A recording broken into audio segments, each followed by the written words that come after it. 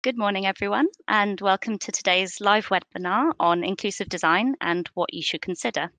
I'm Natasha Watson, and I'm a structural engineer from Buro Happold, and I'll be your chair for today. And I'm standing in for Louise, who sadly can't make it today. I'd like to introduce our speakers. We have Chris Watkins, who's a senior consultant in the Access and Inclusive Environments team at Arup. We have Jane Simpson, who's an architect and director of Jane Simpson Access. We also have Lindsay Rutter, who's a structural engineer and founder of Rutter Johnson Engineering Consultancy. So, like many of you on the call, um, I'm assuming, I'm relatively new to the area of inclusive design, and so I'm looking forward to learning from today's speakers. I want to know where I can influence the brief and design my buildings to be fit for purpose for all of us, from large scale flagship projects to smaller scale residential, car parks, and open spaces. There are certification schemes and awards for inclusive design available. There's the recently launched CIC Inclusive Environments Recognition Scheme, and also the Selwyn Goldsmith Award for Inclusive Design as part of the Civic Trust Awards.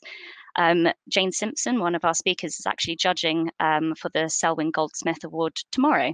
Um, this award has been going since uh, 2011 and is named after Selwyn Goldsmith, who wrote the influential text Designing for the Disabled all the way back in 1963. Today, inclusive design covers visible and invisible disabilities, but also wider issues such as race, gender, sexual orientation, and socioeconomic status. These topics influence us as designers, but also as employees and employers. Please see the RIBA's inclusion, chart, Inclusion Charter for further information and for guidance on how you can make a change uh, in the construction industry today. Finally, inclusive design should not be seen as a nice to have or an over and above. Designing for us all as individuals will ensure that our buildings and our urban fabric are far more widely used and foster community and will be fit for purpose in the future with minimal modifications. So I'd like to introduce our first speaker, Chris Watkins, um, who will be presenting on what inclusive design means further. Welcome, Chris. Good morning, everyone. Hopefully you can see my, my screen now. Um, indeed, my name is Chris Watkins. Um, I'm one of the senior consultants within Arup's Access and Inclusive Environments team. Uh, so don't worry, I'm not going to give you a full sales pitch, but just to say that that means that inclusive design and access is very much my day job, uh, normally working as an access specialist as part of design teams on really a whole range of projects. So lots lots of residential and commercial buildings, um, and but then down to the level of retail fit outs, uh, lots of transport infrastructure, train stations, sports venues, um, and I get teased within our team that I seem to specialise in multi-story car parks at the moment. So a a wide range of experience in different projects, from from your your very big and glamorous to your much more practical things that actually just get used by real people every day. That's enough about me. Um, I should warn you, I'm, I'm, going to start a little bit ab abstract today um, by thinking about what we mean by inclusive design, what inclusive design is, where it comes from. Um, for considering really who we're designing for and then commenting on some of the, the key factors that I think are, are central in, in enabling us to design inclusively. Um, before handing over to Jane, who will give her architect's perspective with some, some really practical examples of what inclusive design um, can mean to you as structural engineers. So if you're, if you're sitting there for the first couple of minutes thinking this is all very well, but what's it mean in practice? I promise that is coming, so do, do bear with me. So what is inclusive design? Well, the BSI gives us this definition I'm showing on screen. It's the design of products and services that are usable by as many people as reasonably possible. And that's fine, um, but I think it's it's useful to pull that apart a bit and consider where it comes from and, and really where this idea of inclusive design comes from um, is the idea of, of, the social model of disability, which which I like to to keep bearing in mind. This is this is the idea that essentially um, inequality is is created not by someone's own characteristics, um, not by someone's uh, own bodies, but by society and in our case, the built environment around them. Or to put that in potentially more challenging terms, it basically idea the idea that a wheelchair user is is not so much disadvantaged by the fact they can't walk, but by the fact that there's steps everywhere. Um, and as a common thought experiment, um, in a world where absolutely everybody used a wheelchair, and everything is designed by people using wheelchairs, things would look very different. We wouldn't we wouldn't have staircases, quite frankly. Indeed, the two percent of us us unwheeled people who insisted on wandering around on on funny, fleshy, wobbly leg things would be hugely disadvantaged by the built environment because all the ceilings would be five foot high and uh, there wouldn't be anywhere to sit down and believe you me, as someone who recently tried to furnish a flat with a wheelchair user, I have to fight for my rights as a non-disabled person to get a comfortable sofa. So this is far from a perfect model, but I think what's important, what, what it does do, is it brings that inequality and unfairness, I suppose, um, firmly within our control. It's the same concept really as, as the hopefully now uncontroversial idea that while it's completely true for example, that women earn less than men and are, are, much less likely to be in positions of power in, in business and in government, for example. That's that's not because there's something wrong with women. It's because we live in a society which, for thousands of years, has predominantly been designed by men. For which I apologise. So inclusive design is in that sense not about doing something extra it's not about adding something in to make our designs more inclusive it's about being cognizant of what we're already doing that can and does disadvantage some groups and hopefully as a result of being of, of that cognizance changing what we do as a result so when I talk about inclusive design, I'm, i mean this. I, I mean just principles of good design. Design should be equitable in use, allowing everyone to not necessarily do things the same way, not necessarily have exactly the same experience, not requiring everyone to behave in the same way, but an experience of the same quality, regardless of someone's personal circumstances.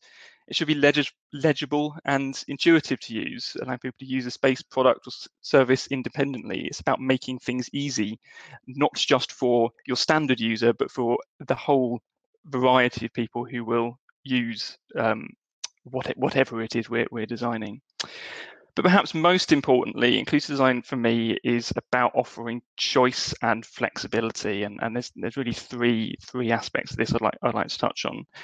Firstly, everyone is different and allowing people choice in how they achieve what they do accommodates that difference. You can't design a, a single version of something which is going to be accessible and usable by absolutely everybody because everybody has slightly different requirements around what they need on top of that as well, what people, what we all need changes over our lifetime. Um, our our bodies change through our life, um, and certainly if you're thinking with regards to, to private homes, what we need right now might be very different if that from what we might need if we're expecting to live in a home for 30 years.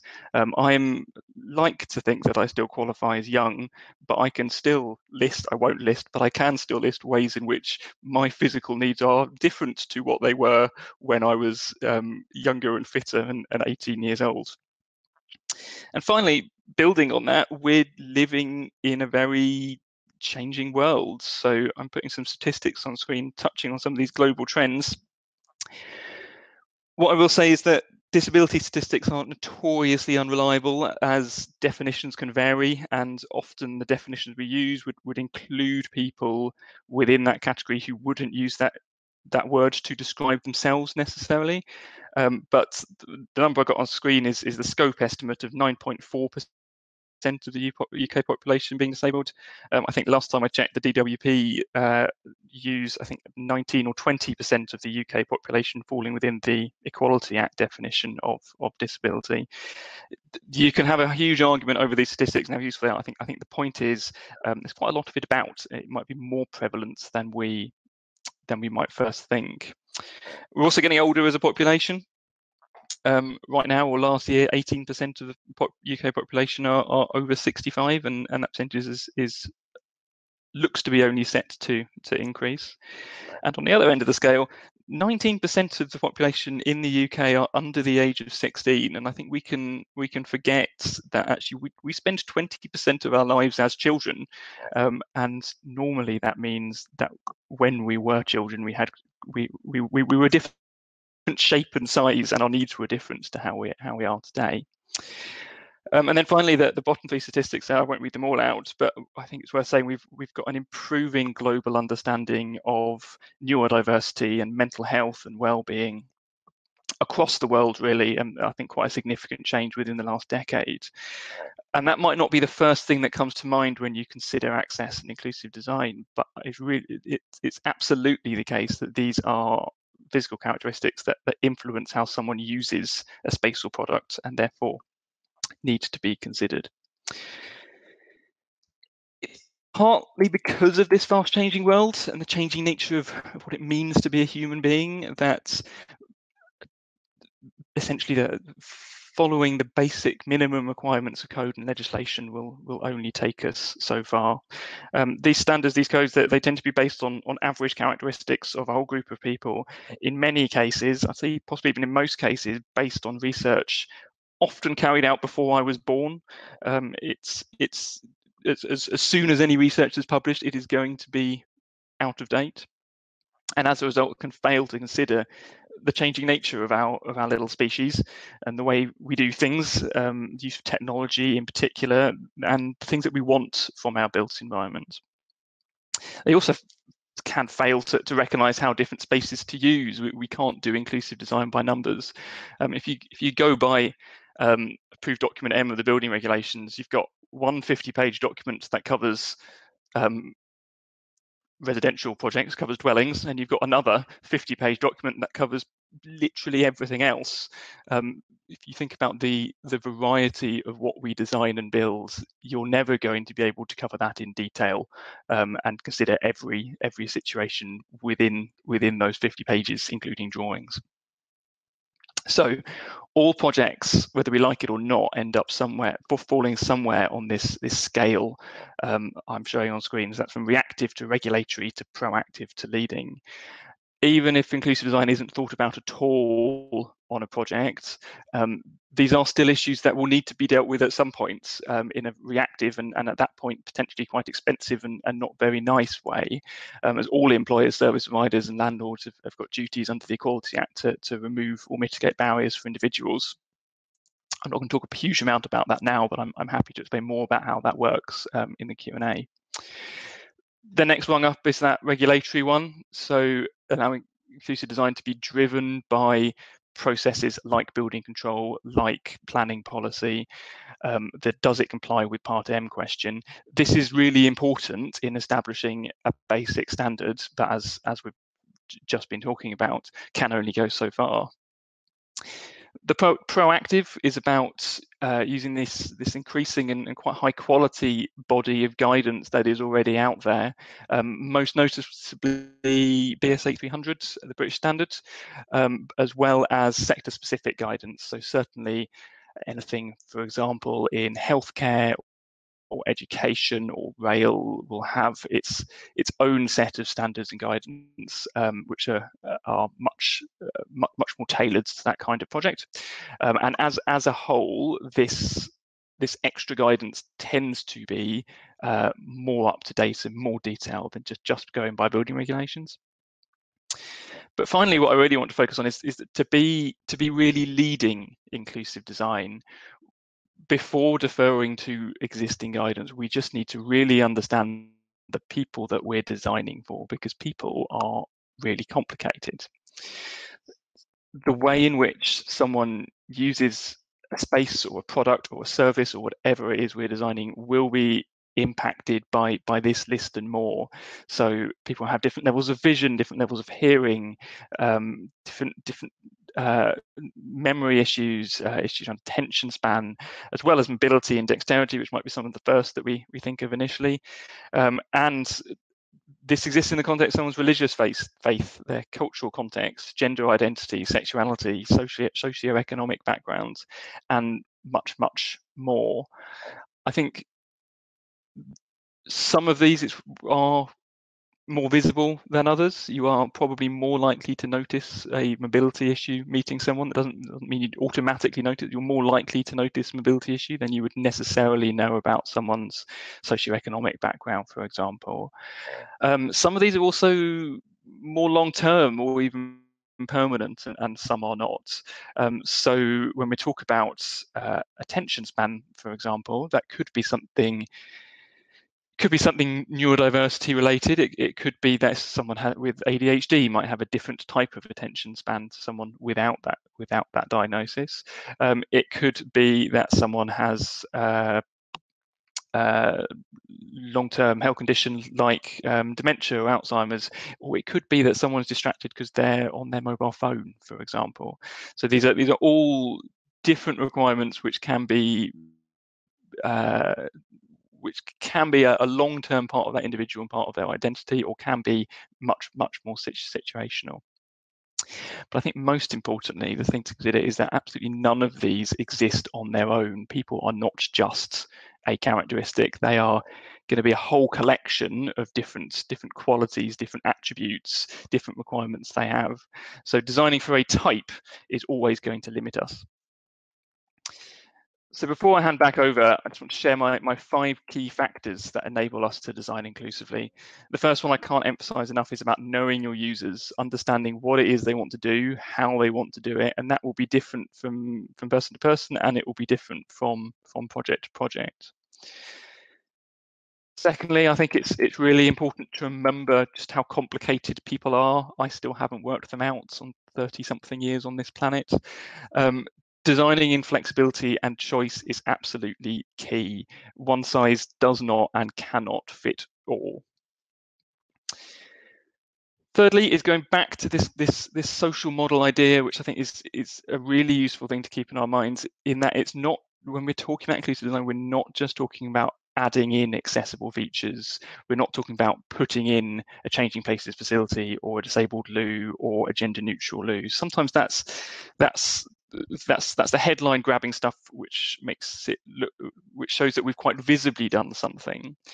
Um, but it is at least as important to think about how we how we can remove and take out unnecessary barriers understanding that what we are designing whether we think about it or not is going to impact different groups of people differently regardless of whether we think about it with with that inclusive design lens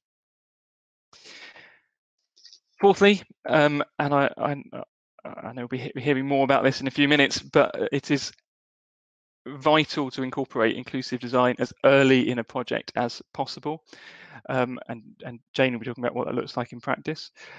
All I will say for now is that by incorporating inclusive design right at the at the very beginning, it can be something that really adds value to the work that we do and to be really blunt about it, not worrying about it until it becomes a problem to be overcome later in the process, you're you're fixing a problem that you've created rather than adding value for, from the outset. And then the final point for me is it's about taking responsibility. Um, inclusive design would perhaps ironically be pretty counter-inclusive if it was only the preserve of speciali- specialists like me sitting in glass offices in London with the words inclusion in my job title. Um, that doesn't mean that everyone needs to know all of the answers, but I think I would really like to get to a stage where we all have inclusive designs in our mind, perhaps in the same way that we think about safety. There are some people who specialize it and where it's very much their job, but it it is still a, an important part of everything that, that we do as designers. So that's me. I'll, I'll hand back over on that note and look forward to uh, discussing in the Q&A. No thank you to Chris and thank you to Natasha. Um, uh, yeah, Chris has given a really good explanation of the legislation and the um, the ethics really around inclusion. Now, I am an access consultant, but I'm also an architect, um, and I've worked on inclusion for nearly three decades now. I work with design teams on a regular basis. Following on from Chris, I would just like to outline the context of the legislation, how it sits with regard to the construction industry, explain the inclusive overlay in the plan of work, which is in there now. Should say plan of work, not works. I'm afraid I got it wrong. And identify aspects that I think are most important for you as structural engineers to consider. Great. Um, yeah, as, as Chris has, I want to reiterate what Chris has said. Um, no, the uh, slide actually relates to the UK and specifically England, and obviously things will vary throughout the UK and the world, but I think there's kind of a very similar kind of context. I'd just like to stress that discrimination legislation does not have any technical standard attached to it. And building regulations, whilst it is statutory, is seen as a minimum obligation, minimum standard. And actually, ADM states within it that meeting ADM does not necessarily equate to meeting the equality legislation. So you have to be very careful if you think that you get a building reg sign off that actually everything's cracked. It's not necessarily. Now, BS 8300, you've got the British standards, you've got double nine double nine, treble nine one. Um, they're actually quite important, but they're still very generic. You also have sector guidance. So you have schools, um, you have Sport England, you have health building bulletin notes, you have things for transport. So what you've got to be careful of is you've got to look at all of these different elements and establish which is the, pro- the most appropriate for your project. And as Chris has said, you've got to be careful because these documents are cyclic. BS 8300 came out in 2018 or 19. Um, what you have now is building regulations is likely to be updated the next sort of um, few years. So just be careful of it. So this is how it all sits. The equality legislation has no technical standards. Building regulations are a minimum. British standards are a generic um, mechanism. And then you've also got specialist sector work. So you need to look at all of these elements to see what you need to consider. So again, I won't say too much on disability because Chris has covered that quite well.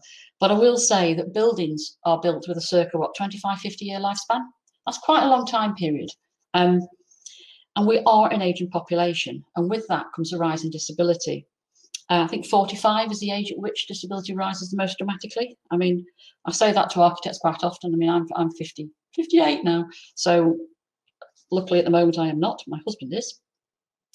Um, as you can see, uh, wheelchair users in the centre come in various modes as well. It's, you know, just because somebody's in a wheelchair, they don't necessarily fit into your standard 800 by 1400 space, etc. So a little bit careful. And statistics, even though they can be um, different in various places, I think they believe there's no more than 8% of disabled people are actually wheelchair users. And RNID, for instance, estimate we have 12 million people with hearing loss. Now that's a lot of people. And again, as with eyesight, is a sensory uh, the sensory loss is very much an aging perspective. I don't want to say talk too much about that because we've already covered it. Uh, so the RIBA plan of work. Um, I've taken the table on the left from the BS 8300, which is, is covering a similar thing. And effectively, it is what we would in the inclusion we'll talk about the sequential journey. Sequential journey, not just through a building, but also through the um, stages of the building process. And the new RIBA plan of work now includes inclusion in all stages from naught through to seven. So what does it mean for architects and for you as structural engineers supporting architects? Well, the RIBA plan of work, um, key stages are probably for you are probably stages one to five. At, at one, the client's establishing um, the design standards. And as outlined earlier, different sectors have different requirements. For instance, Sport England have wider doors than, than Part M. Now, Stage two is understanding the strategic requirements. Early decisions on structure can impact on the future accessibility. So understanding key inclusion obligations may impact on your choice of structure. Stage three, design should inform building regulations, ensuring the correct spaces and locations of elements now, as any changes will impact on planning. And what we don't want to do is have to go back and amend drawings uh, after planning's got through. Stage four is detail. And to be honest, simply it's about ensuring everything fits. Because once the FF&E goes in, does it work? It is often dimensions rather than area that counts, and structure has a role to play in this. Stage five, during construction, ensuring that inclusion is considered during any change on site. Any change should consider inclusion accessibility. Keep it on the radar. I've done too many projects where change has been made, partly due to added value, and suddenly the access has been destroyed. Okay, so what do we need to consider? Um, as structural engineers, um, the next three slides I hope will answer or identify some of the aspects that you need to consider during your work. And I'm hoping following this you will ask the question at any of your next design team meetings as to how what inclusion standards are applicable to projects. So the sequential journey, as I've already explained, is paramount for disabled people. For arrival, I've had projects where beams to an underground car park has resulted in inaccessible landscapes and actually quite costly changes on site to ensure that people can actually get into the buildings. Another misconception, common misconception, is the headroom in car parks, particularly at ramps and changes in level. Often disabled people drive larger, higher, the higher, higher cars, vehicle cars are actually quite tall because the wheelchair user can go in the back through a ramp. The obvious one is circulation, but when considering the full diversity of people, there is much more to consider. I belong to the UIA Architecture for All Western Europe Group 1. It's a mouthful, but until recently we used to get together twice a year to discuss inclusion. And if you see my, uh, that, that, that gentleman there is, is Christian um, from the Netherlands. Um, he's a wheelchair user who refuses to look for the lift if it's not intuitive, as Chris mentioned earlier. Um, and he uses escalators um, rather than travel further to spend time looking for the lift. I would say he is the exception rather than the rule, but uh, disabled people can often be the exceptions and not the rule. And there's also detailed elements I'll follow through with shortly. That actually is, oh, I think that was in, I think that was in Luxembourg, that lift, if I remember rightly. Uh, lifts are absolutely key to, to getting disabled people into various places. Now, circulation. Corridors, building regulations actually says structure should not get into circulation routes, corridors. And in fact, ADM asks for a handrail uh, to be installed around any projections. And as you can see from this diagram from BS, that's what it's talking about. Now, if you end up having to do that in a building, the client is going to wonder why. They're going to think, why couldn't you de design that out? So no structure should go into circulation routes. So isolated columns is another one. If you imagine the gap that you've got here between the uh, column and the window area, if you're visually impaired, or if you've got a guide dog, it's quite difficult. You, you, you should be blocking that over. You should not have that gap. People should not be able to sort of half walk through it. And plus, the other thing this quite clearly shows is the isolated columns and tonal contrast. If you squint at that, can you see it? Um, as Chris mentioned, we've all got varieties of disabilities. In fact, I think we say we're all disabled in some way or other. However, 95% of visually impaired people have some residual vision. So isolated columns will require additional measures to ensure that those people can actually use the spaces safely. Now, this is my favourite, angle columns. This is a project I worked on actually. Um, architects love them. Um, but what you have to understand is that you should protect between 2.1 metres um, to stop people walking into them. Um, BS 8300 asks for 2.5 unless it's under stairs and ramps. What we actually did here was he actually put a plinth around the bottom to stop people being able to, to walk into it accidentally. It actually acts as a seat. Now, in terms of lift, just want to make a, a, a quick point. Uh, the 1100 by 1400 lift is not sufficient for some motorised wheelchair users. And a full passenger lift should always be installed in a new building, not a platform lift, despite what some of the product manufacturers might tell you. Um, and there are very clear guidelines on what the exceptions can be. In a new build, this is restricted to small inner city sites. So if you get a project where they want to put a platform lift in, check it out pretty quickly because it should be a full passenger lift. Okay, details. Um, Sound enhancement, interestingly, the amount of steel work can impact on the effectiveness of these systems. So, A, if you are designing the M&E side, you will need to know very early on what kind of structure you've got because that will have an implication, particularly when you're dealing with large auditoria areas. Now, balconies, there's a new BS 8579, which I was involved in, which touches on the need for level access thresholds to balconies. ADM requires this for all publicly accessible balconies, and that's any common areas in apartment blocks, for instance. Um, residential, as I say, slightly um, less clear cut, but it should be achieved in category three housing, uh, honestly, wherever possible. So please check out BS 8579 because the structural components of balconies can impact on the level thresholds.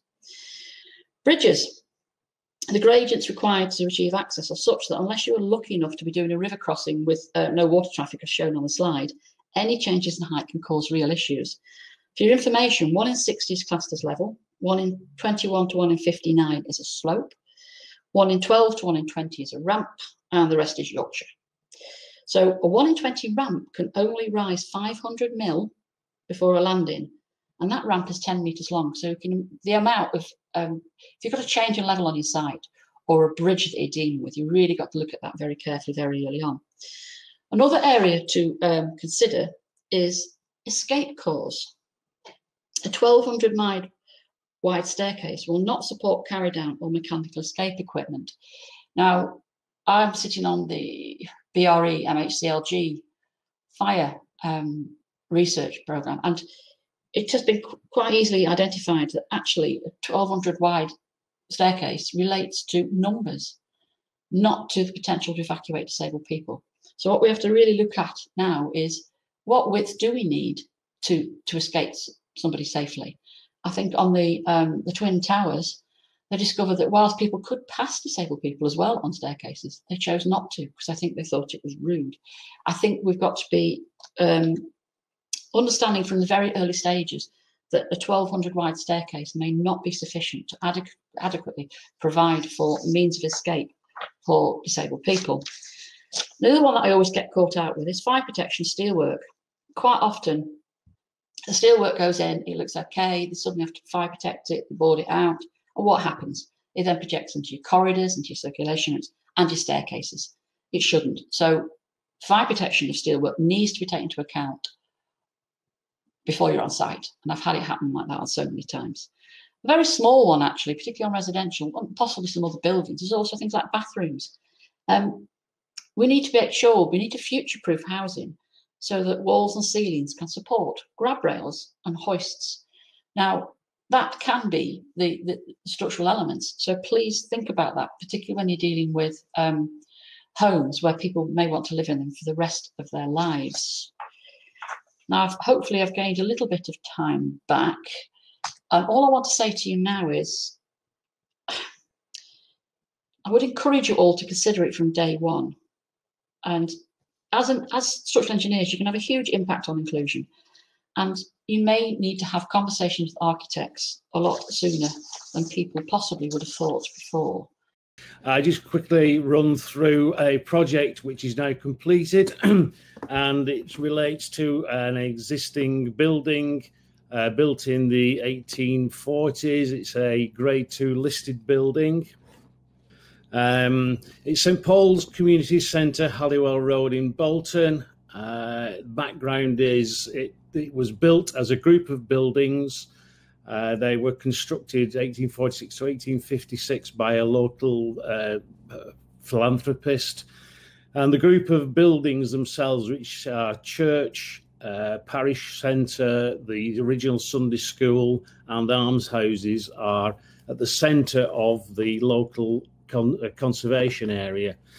And we were asked initially to um, access the community centre building with a view to repairing what was a very degraded timber floor. It's a typical suspended timber floor, and that in itself had become decayed with wet and dry rot. Uh, at that time, the building was just a large open space. It had been a Sunday school in its original format. Uh, there was a small uh, area that was used as a kitchen at ground floor level and there was a small office at the upper level. I just flirt through. So that that was the existing building. Um, access off the street at the front via some steps. A 1960s extension to form some toilets at the back because there were no toilet facilities within the building a very rickety timber staircase leading up to a very small first floor office. The results of our initial investigation showed that the timber floor was really degraded. There were lots of uh, movement cracks in the walls, damp, typical of this type of, of building. However, the building had a listing, it was grade two listed, and the church had no money. So it was decided that we would apply for funding. And bearing in mind this took from 2012 to 2016, we had to put a case together to create a community hall which was available for all users. And that said, uh, this this this uh, really was a challenge because we were constrained by the existing building. We needed to do the repairs. We needed to be able to get people in and out and to use the hall and also provide facilities for other events. So after a number of iterations, it was decided that we would take part of the hall and introduce a mezzanine floor, which was at similar level to the existing first floor office. The office, uh, we ended up actually having to take the floor out because we found further rot. Uh, so there was additional cost there, but we we managed then to make it a level access through. And taking on board Jane's comments about platform lifts, we did actually install a platform lift uh, that was suitable for the larger motorized wheelchairs. And we went through great pains to, to uh, select the correct lift in that instance. Um, the simple the structure itself is simple as possible. It's a series of beams built into the external walls with uh, square hollow section columns, which were within the confines of the uh, the walls, either blockwork or studded walls. So there was limited or no projections in most cases. Um, we did have a number of issues with the fire officer in terms of means of escape. And at one point, we had proposed to take out this window to create an, ex, uh, an additional fire escape from the hall. Uh, unfortunately, the listed building officer was not um, in favour of that, so we had to uh, revisit the, the, the fire escape situation. In doing uh, the upper floor, we created a meeting room, we created offices, and we created a compartmentation refuge where escape uh, where people could could um, escape to and be es- be evacuated from in the event of a fire. This has a link through to the main fire alarm panel, and it was uh, quite a, a, series of meetings with the local fire officer in order to get his approval to it. Um, going back to access, which obviously was key, we needed to create a ramped access. And that posed the greatest difficulty because of the nature of the listing of the building. The building and the external perimeter stone wall was part of the listing, and the listed building officer did not want to change the arrangements, which in fact were three steps from the pavement. It's a sloping pavement, three steps up and a further step into the uh, main entrance. Um, obviously, the first port of call was to, and if I zip back through the slides, the first port of call was to see if there was a potential to get an access at the rear. Unfortunately, the road along the eastern side, Vicarage Lane, is an unadopted rough surface road. It is totally incompatible with anybody uh, who has difficulty walking or is using wheelchairs or prams and buggies. So that was completely out of the question. Uh, we had to fight considerably with um, the listings officer and eventually with a lot of um, lobbying and we got the support of the local history society, we were able to produce a scheme that was acceptable. The uh, new opening was formed onto a landing. We managed to get a gradient, a, a graded ramp to an area there, just sufficient to get the standard wheelchair. And I have to say that was very much uh, a, difficulty. We had to splay um, areas uh, to to to provide that, but in the end, uh, we managed to get it inside the building because it was multi-use. We created a disabled uh, or an accessible toilet with baby changing rooms, normal toilets, bearing in mind there were no toilets previously other than in the external area uh, and a kitchen that could be used for group work, including a lowered area, an accessible worktop and sink area clear underneath to provide uh, access to all. Uh, I'd just like to say one thing, and uh, being well over 65 and the aging population, um, I was brought up in the time when, to some extent, engineers thought designing for the disabled or designing with uh, access ramps, etc., uh, was was perhaps not the the right thing to be doing. It was always seen as being a bit of a pain, and I say that quite frankly uh, because that was the sort of uh, when I was in the drawing office, that was um, many many people's feelings. But having um, had to be involved in because my wife was uh, diagnosed with motor disease in 2016 and became a fully reliant wheelchair user. The standards that the uh, building regulations that Jane says are very much minimum standards, particularly when you're a 16 stone bloke and have to uh, deal with wheelchairs. And one particular instance is when you go to the local supermarket and they have these clip on trolleys on the front of a wheelchair, it's like pushing a juggernaut through the narrow aisles and the crowds of people. And uh, that's my presentation complete. There is one question here from from the audience. Uh, could we please repeat the ranges for the levels, slopes, and ramps, please? I think that's um, more for sort of accessibility. I think that's from Jane's um, presentation. Yeah, sure. Um, what there is actually, there's a requirement. One thing I didn't mention actually was a requirement where there is any slope, any 500 change in level that's a ramp or a slope, you should have a landing. Bear in mind, this is to the front entrance to buildings under building regulations, but this is also recommended in BS 8300 Part 1. What you then have is um, level is 1 in 60 or less. Um, a slope is 1 in 21 to 1 in 59. And a ramp is 1 in 12 to 1 in 20. Okay, was that clear enough? As I said, the rest of it Yorkshire. Cool. I think that has answered that question. Um, right. So I have a question for Chris. Um, I really liked your narrative of it's not something wrong with the individual, it's the fact that the environment has something wrong with it, um, which I think is a, a, very definite mindset shift.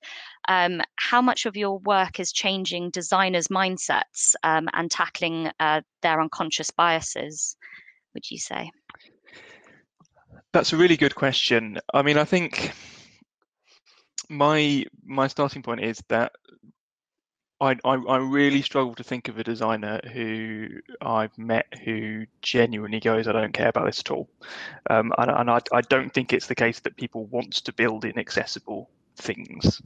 Um, so in that sense, I think that's that's not so much mindset change. I think the mindset change is about really understanding what that means, and in particular that that that doesn't just mean that doesn't just mean one thing, um, and that doesn't necessarily mean uh, something that might have worked 10 years ago. By which I mean, um, I'm very conscious that a lot of what we're talking about here is, in the scheme of things, really very, very new. I mean, the first disability equality legislation in this country came into force 25 years ago. That's that's within all of our lifetimes. I'm I'm guessing. Um, it is it has has always been worded in a way where it's uh, talks about um, reasonableness, for example, which is a very loose term and changes over time. Um, and as Jane was saying, standards are cyclical; they change really every few years. So the mindset change that I have, that that I think we might come across is not so much convincing people that it's important, but convincing people that actually what is what is good enough is constantly improving. It's it's a raising it's a mm. raising bar and i think that's that's the thing that is that is the more challenging thing to communicate sometimes. Okay. Thank you very much um, Jane, I have a question for you. Um, you shared with us a lot of pragmatic tips uh, for design. Um, do you have any pragmatic tips for starting the conversation with the client and the project team about accessibility from day one? Um, I would say that it, it's it's important to talk to the clients about understanding what they do, who they do it for, and where they do it. Because until you understand that, you don't understand the necessary levels of inclusion. And it's most clients are quite receptive, particularly when you talk about the added value, but you also have to sometimes use the stick. Um, yep. I always bring in sustainability because there's no point building a building, as Chris said, that you've got to change within five years. What you should be looking at is is discussing it from day one. It's cheaper to build in access from day one. So get them to understand that understanding their obligations and setting design standards to very early stage will help help that process. I just want to add something to the last question actually. Yeah. I got asked by a 17 year old when I was doing a lecture today, what was I most um, proud of in my career? And I said, I worked on an energy for waste plant, would you believe? And the contractor on site, the tonal contrast was superb. I walked around, he went, I worked with you in Rotherham on a school. I've never forgotten. For me, that's what's important is, is, you know, a lot of people I work with are repeat clients because we work well together. They understand it. They listen. They know that if you deal with it early, it, it, it is far easier to do and less costly. Simple as that. Really. I hope that answers the question. Oh, definitely. Thank you. Um, and now, finally, a, uh, a question for Lindsay. Um, from your experience with um, the listed building and the rules and the regulations, do you believe that there will be changes uh, for rules for listed buildings to allow for more inclusive design? Uh, well, I think there needs to be. I, I think obviously uh, planning officers and listed building officers vary from authority to authority and we had one who at the time uh, considered that even drilling a hole in the stonework to erect a plaque was uh, needed listed building consent, and so you were battling royal to start with. Uh, I think there needs to be more understanding, and I have to say the local history society were so much behind us and lobbied hard because what we were intending to do was to bring the building back into use, to give it a new lease of life, to make it part of the community. Otherwise, if we hadn't got uh, the funding, if we hadn't done the project, the building would eventually have gone to rack and ruin. And um, it, it, with it being part of the sort of local conservation area as well, we had a lot of local support, and, and that lobbying uh, was was very very relevant in, in getting consent at the end of the day. Um, we've had a question uh, through as well. I, I, believe this is for you, Lindsay. Um, are there any alternatives you find useful to building a compliant ramp to the front of listed buildings? Um, well, you've got to provide access, and uh, each situation needs to be carefully considered. The, the the the access and having you been involved in using wheelchairs, as Jane says, the standards that you see are very much minimum. Uh, I don't think you can get away with using ramps. Now, I know on a lot of church buildings, they have timber ramps that need to be brought out if somebody comes along in a wheelchair. That's not really the ideal because you need somebody who's able bodied to be able to put the ramp in position, etc., etc.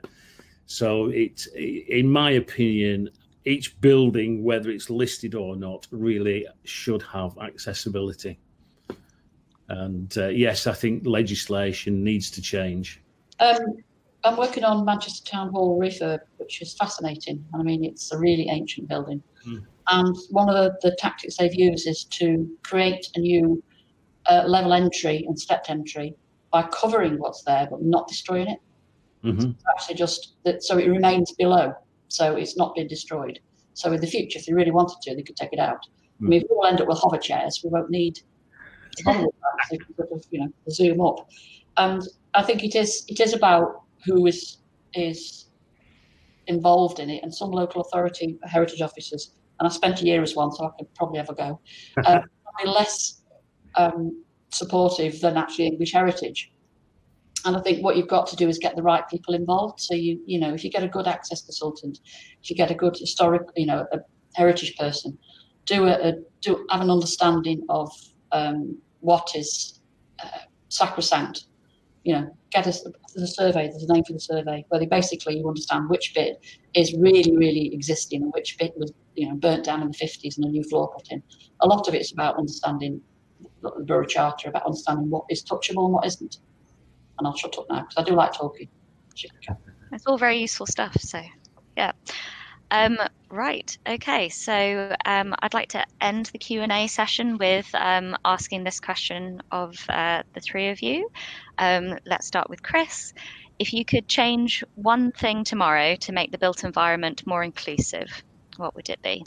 If I was king for a day, um, I yeah. think my slightly draconian sounding tongue-in-cheek answer would be um, I would I would ban any designer, architect, or manufacturer from simply describing their design or their product as being accessible, because I think that on its on its own that doesn't mean anything at all.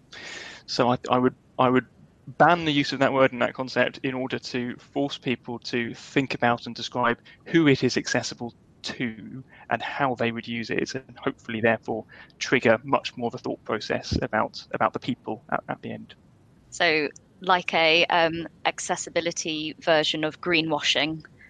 Yeah, absolutely. I mean, I, I, I, I tell people sometimes that ten, t- telling me as an access consultant that something is accessible is a bit like telling a fire engineer that something is fireproof, um, or a structural engineer that something's really, really strong. On, on its own, it doesn't tell you much, and it just makes you worried that it hasn't really been thought about that much. Cool. Thank you very much, um, Jane. Uh, same think, question to you. I think for me, it's about respect. I think that we know that one in four people have a disabled relative or friend. And what people have to understand is that it's about allowing people the dignity to be able to um, go about their day without having to ask for support and independence. Respect and independence for me is the two keys. If people get that, then they should be able to design effectively. Fab. Um, and then yes, finishing with Lindsay. What's uh, what's your answer if well, you're a king a day? I, I, think I think one one thing that really sticks in my mind is the disabled car parking that you find in most sort of supermarket layouts, hospitals, etc. Particularly if you are using a, a rear ramped vehicle where you have to unload the wheelchair because by the time you've parked in the bay, you've got the yellow strip at the back the ramp extends beyond the strip, so you're actually discharging into the traffic flow. And I, I find that um, uh, very, very difficult, particularly in busy areas. So I think that's something that really needs to be looked at, and and a, a wheelchair bay or wheelchair dis- discharge bay would be far more beneficial. Can I just add that at the back of the BS 8300 Part One, there is some quite old guidance, but on distances needed for it. So mm-hmm. I would always encourage larger um, sites such as hospitals, etc., and supermarkets to have potential for a bay. The difficulty is you can't say you can't go in that; somebody else has to. Absolutely, absolutely. There is that. There is some advice around, and I'm sure that the changes that come through building regulations might hopefully pick that up. So when the consultation comes out, everybody get in there, tell them to do it. All right. Um, so thank you very much. Um, I think it's just up to me now to uh, do final uh, roundup of uh, of the talk. So thank you, Chris, for challenging our mindsets and making sure that we take responsibility for our designs. Thank you, Jane, for giving us the approaches for design and teaching us also to keep an eye on change control to make sure that inclusive design measures are not value engineered out. And thank you, Lindsay, for sharing your experience um, with the tricky balance of making listed buildings accessible. Um, accompanying this webinar, um, if you clicked on the website, there were a couple of related documents um, underneath, so please have a read of that, um, including uh, there's an article um, called Isn't It Time We Embrace Inclusive Design by Sabina de Jesus, I believe. So that's from the, uh, the structural engineer um, uh, um, Structural Engineer Journal, um, issued on the 16th of November.